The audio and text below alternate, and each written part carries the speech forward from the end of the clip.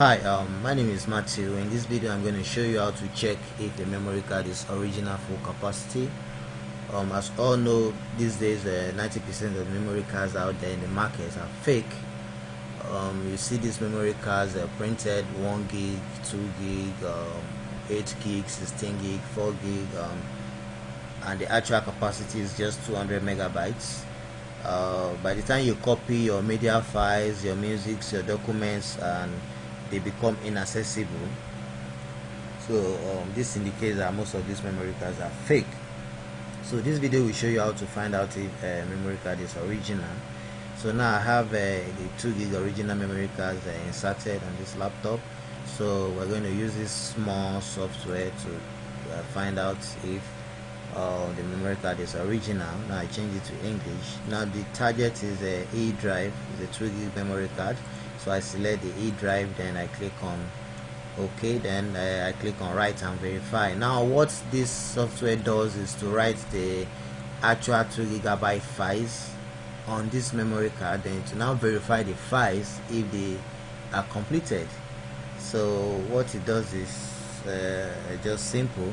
So let's give it some time. It's going to take approximately five minutes to write onto this memory card. So it will not take some uh, extra few minutes to verify. So let's just give it some time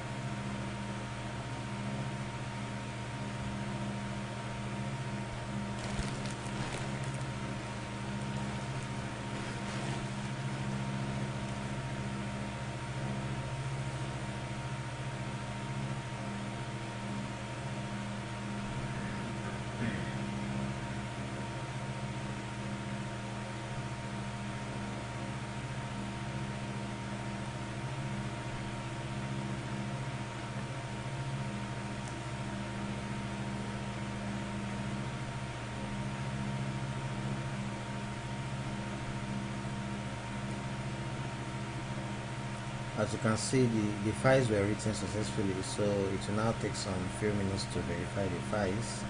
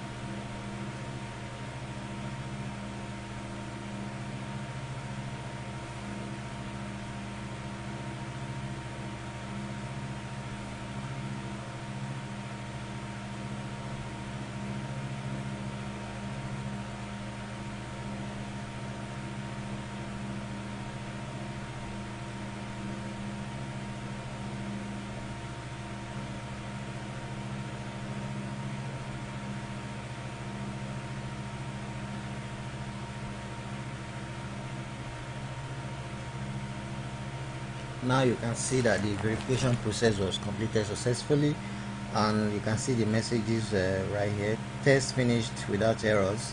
So this indicates that this memory card is the uh, original full capacity. Now if this memory card is fake it will display the actual size of this memory card right here. If let's assume I inserted a, an 8 gig memory card and it's fake and the actual capacity is just 300 megabytes it's going to display it right here and it's going to show test finished with errors. So thank you for watching the video. To get this software just visit the link uh, in this video. Uh, thanks